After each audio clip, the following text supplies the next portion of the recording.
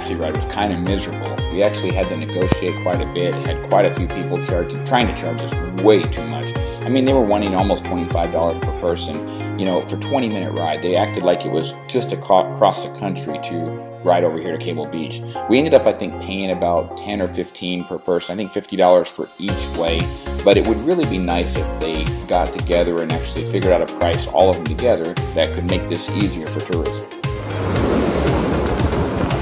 So I'm here at Cable Beach. Weather's not the best. Looks like they had a lot of rain last night. It's not going to be as clear as normal, but also the problem with this beach is right there. Jet skier. So even if I saw a head of coral out here, I really wouldn't be able to get to it. So I'm going to be swimming in all this conch grass. Not my cup of tea. I'm going to walk up there to where that construction's down in the corner, see if there's anything up that way. Talk to you in a bit. Yet, guys. Still looking.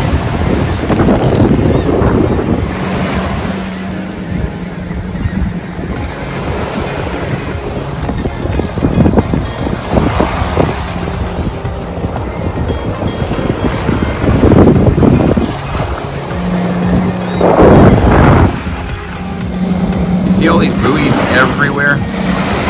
You have no idea where you can swim, what's safe, what's not safe. And I'm sure right over there by that little island there, there's some beautiful corals, but not worth risking your life over. So, in my opinion, Cable Beach is a bust. Absolute bust for really wanting to get some good snorkeling in. I would not recommend this beach for snorkelers pretty much at all, and in, even in the most perfect of circumstances. Lay on the beach though if you're wanting that kind of uh, trip, but not for me. Cable Beach really had some beautiful sand and the water was still really pretty. And if you're really into, let's say, water sports, this might be a great beach for you if you're wanting to rent some jet skis and go out there doing some parasailing. But for snorkeling, not so much. For swimming and beginners, I can say it's still probably a pretty cool spot to visit, but really not one that I would like to go back and just swim over conch grass. This is the area that I walked. You can see where I walked from way down in Cable Beach, all the way around the corner, all the way to the other side. And really, that whole area, there wasn't a whole lot of promising areas. A lot of conch grass, and most of the conch grass was in those buoy areas where you could swim. So, a nice area if you just want to swim over some conch grass, but not really what I was looking for. Now, in this photo, you can see where I started, which is the red arrow to the right, and I ended up right over there where the red arrow to the left is, and then kind of walked back.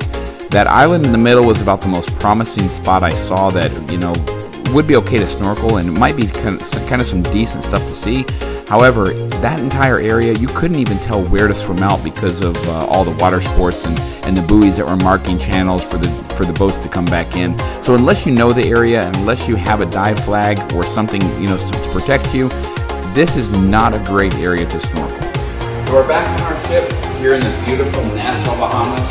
Today was a bus, guys. I didn't really get to get in the water. I went to Cable Beach. I tried. I looked for reef, but nothing that you really feel safe with. Not for you know going from the beach and being able to snorkel out. So I will be back here in about a month. Hopefully, then I can find a better beach, some more uh, stuff to tell you, and some better places to snorkel.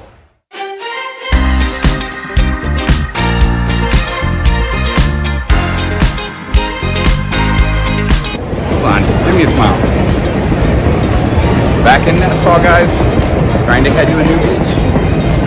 Gonna see what we can find at the beach. This time it was just myself and Justine going to Love Beach. We didn't have four people, just two. And the same deal with the taxi rides. I mean, everyone was trying to hit us up for way too much money.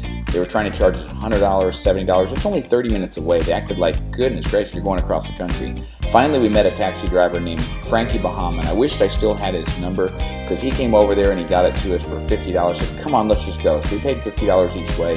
Um, he was a great guide and would love to see him again. All right, guys, so we finally made it to Love Beach. This is what it's about right here. We came in, they charge you $5 a piece to come and use the facilities here. They just drop you off, the taxi driver will drop you off, but it's kind of cool because you feel safe right in there. You can come out and use the beach. The sand is super soft and pretty. Looks like we will have a little bit of good snorkeling. We're gonna get out here and try it out and check out all this rock and uh, see what we see out there. Hopefully gonna be some some good coral heads. Don't know if it's all alive yet or not, so we're to check it out.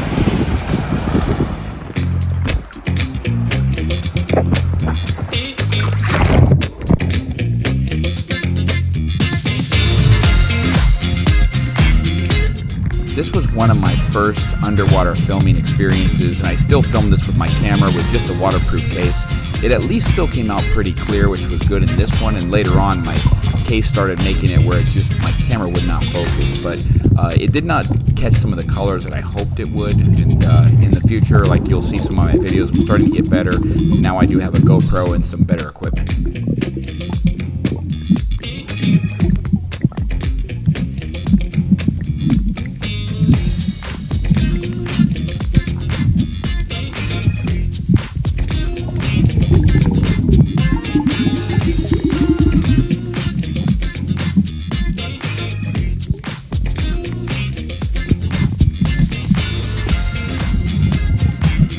Love Beach really did have a lot of cool rock formations and different areas to swim through. Uh, not as many live heads of coral and things like that, but some really cool areas. And I, I know I didn't even touch this uh, area by snorkeling around here, but it was a lot of fun to see the structure and to go around all these areas that I went through.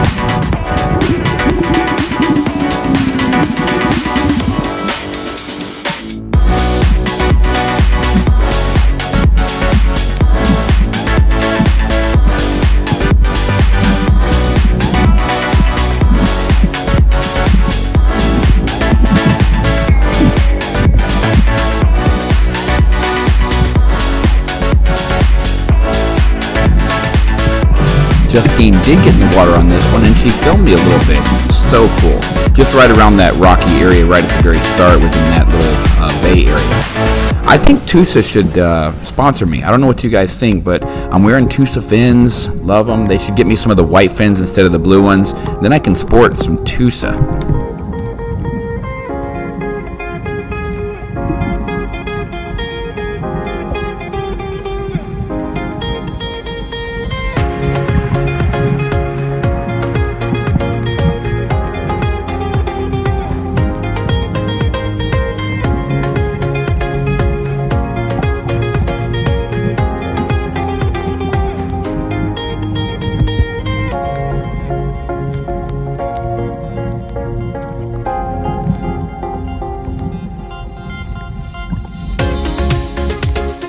Started off snorkeling right there in area number one. This is also one of the most amazing photo shoots if you got the perfect weather like we did. We then traveled over to number two, and that's where Justine filmed me in both of those as well. Number three and number four, that's where a lot of these rock formations were, um, and even going around there into number five. Once I got over to number six, I ran into a little more of the conch grass on some rocks, and it wasn't as pretty. I wished I could have explored a little further to the left there. As you can see, there might have been some reef structure that might have been really pretty right out there. Um, and then if you look in this next film, I, I took this screenshot and I wanted to go out here, the area where I say not explored. That could be a really nice reef, but at the time I didn't have a dive flag and I didn't want to travel out there that far to number that reef and the next one out there. You know, boats are, could be crossing there, even though I didn't see any at the time. This wasn't like a huge traffic area. I just wanted to be safe. I would like to come back here at some point though and try out and to test out to see if those are some really good reefs to explore. This is such a beautiful beach. You definitely, after you do your snorkel, have to do a photo shoot here as we're about to show you that we did.